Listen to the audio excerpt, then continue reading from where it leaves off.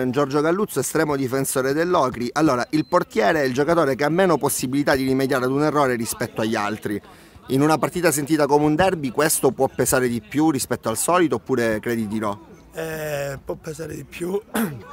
Naturalmente perché in queste partite, eh, specialmente visto che è uno scontro diretto, i punti valgono il doppio e se il portiere sbaglia giustamente c'è, non c'è nessuno dietro di lui che può aiutarlo, quindi gli errori peseranno il doppio.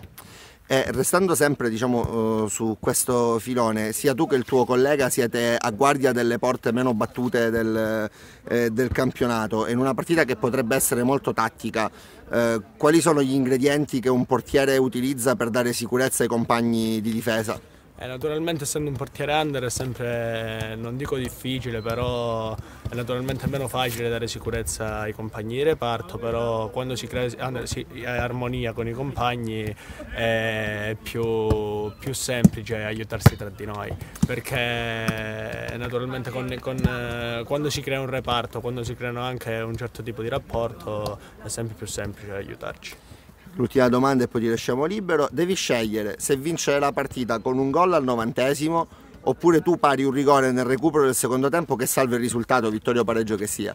Eh, eh, meglio, la, cioè, meglio, meglio la parata al novantesimo, però si soffre di meno il gol al novantesimo.